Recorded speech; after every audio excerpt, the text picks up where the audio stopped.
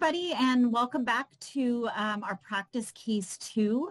Uh, today we're going to be talking about the practice case and going over the answers and some of the thoughts uh, and, and some ways that you may want to think about the case and, uh, and approach it as you're pre preparing to take the, the, the, real, the real exam.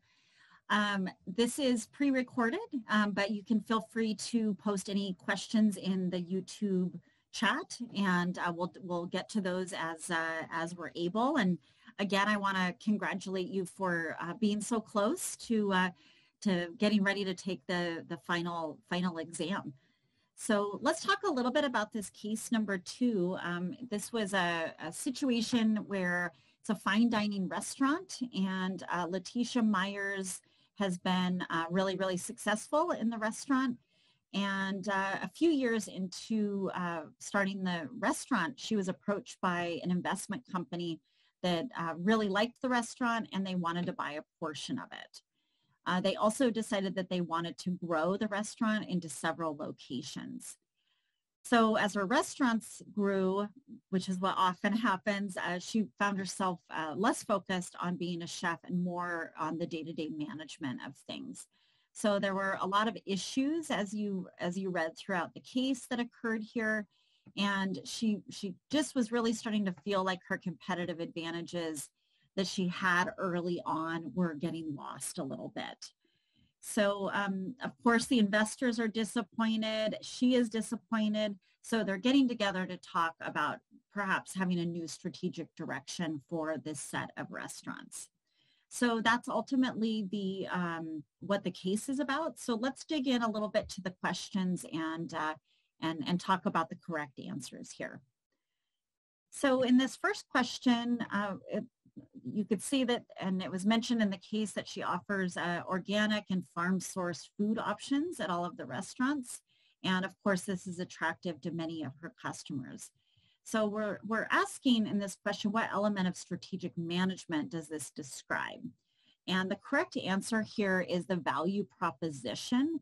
And our, our clues here is that she's, you know, offering fresh organic farm source, which of course is something that customers like. So she's creating a value proposition in, uh, in doing that.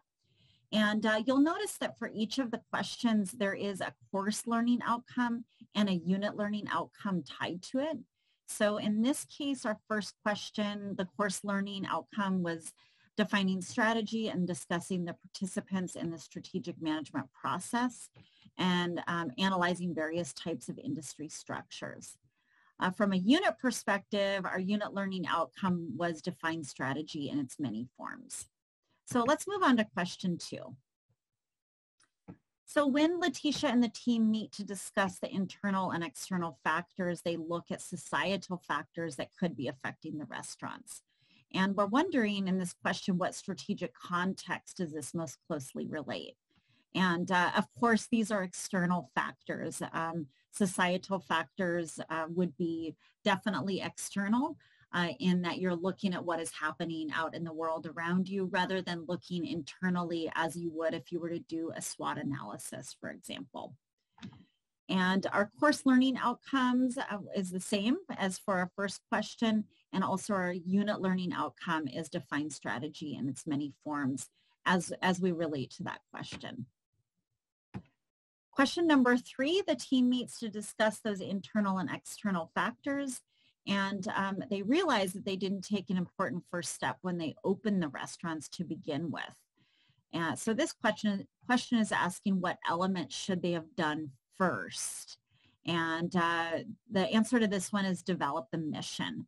Remember, developing the mission and vision is one of the first steps that you'll take as, as you look at creating a strategy.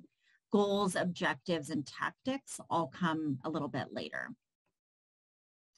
And as you can see, our learning course learning outcomes are the same as they were for questions one and two. Moving on to question number four, uh, one of the issues with the restaurants is that they're having a labor shortage and the team considers development of a compensation policy that will attract and retain the people that they need to run the restaurants. Of course, having the right set of skills and abilities. So when we look at the element of strategy here, The correct answer is C, a functional strategy.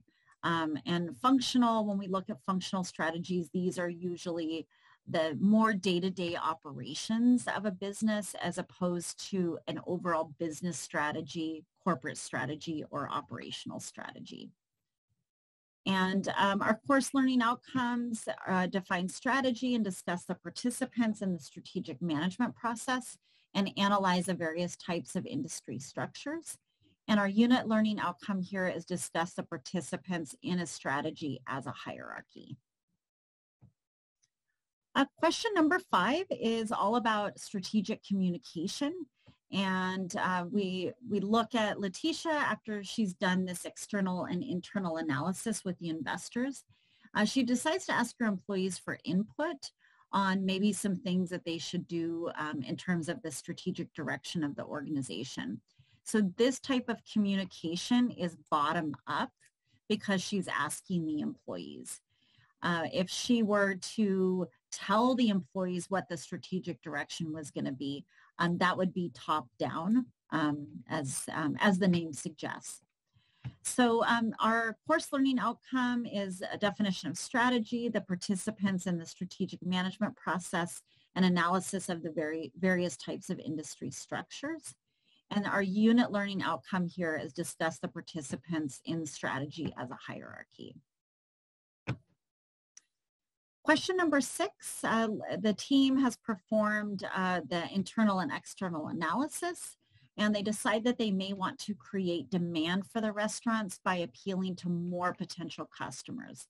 One way they're thinking about doing this is by creating private dining rooms so um, those can be used uh, to hold meetings and, and that type of thing.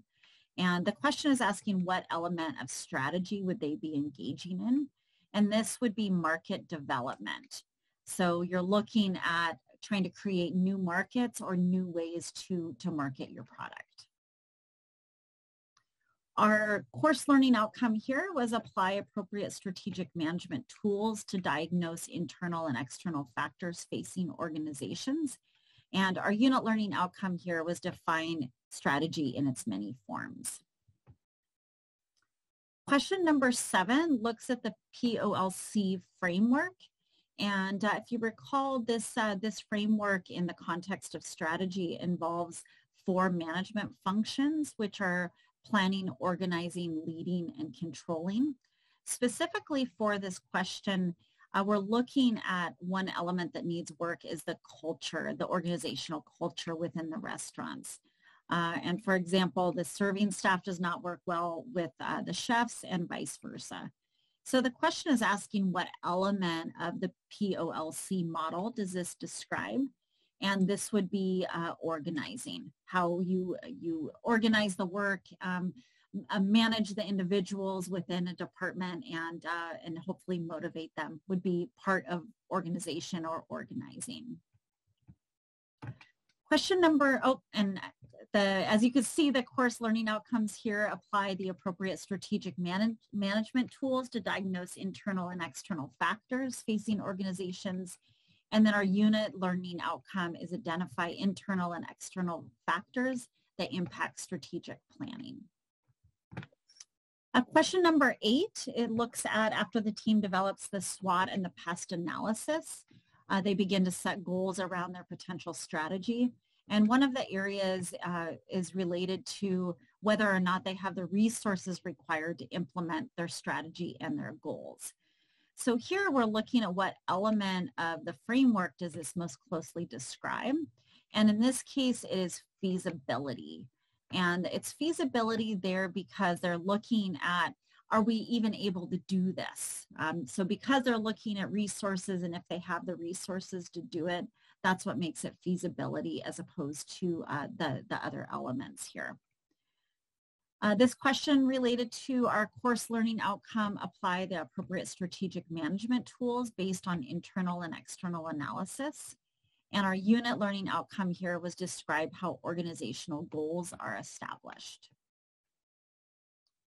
Uh, for question number nine, we're looking at they've completed their internal and external analysis and they decide that they want to focus on a niche market for the restaurants and focus on the things that make the restaurants unique such as the fact that they lo locally source the, the food. So this question is asking about which generic strategy would we be focused upon. And um, of course, that is a differentiation strategy that is described there. Our, uh, our learning outcomes, the course learning outcome here is define and classify the types of competitive advantage and explain the best practices for creating and maintaining these advantages. And then, of course, our unit learning outcome is explain the meaning of competitive advantage. Our final question for this practice case study is about one potential strategy they're thinking about is that they will actually purchase the farms where they buy produce for the restaurants. And this question is asking what type of organic growth does this create for the company? And in this case, the, the growth that that would create is a verti vertical integration because if you recall from your readings, vertical integration focuses on uh, different elements of the supply chain or gathering of raw materials. Um, and in this case, it would be vertical integration because they're going to be serving food from the farms that they own should they decide to move forward with, uh, with that particular strategy. So our, uh, our learning outcomes here were the most commonly used corporate strategies and alternatives for creating long-term value. And our unit learning outcome was explain commonly used corporate strategies. So uh, just as a reminder here, if uh, you didn't get 100%, that's okay. I just suggest that you go back and for the questions that you may have missed, go back and look at the unit uh, where, where the questions were taken from and um, you'll be able to know that by uh, reviewing the unit learning outcome for any that you may have missed. And then I suggest going back and reading the material uh, on, on that particular unit just to make sure that, uh, that you're all set for your exam. Uh, of course, if you have questions, feel free, or comments, feel free to post those in, uh, in the comment, uh, comment box. And um, it's sure been great to work with all of you throughout, throughout this course. And uh, I know you're going to do great on the final exam and uh, really wish you all luck on that and good luck in your future career as well. Thank you all very much.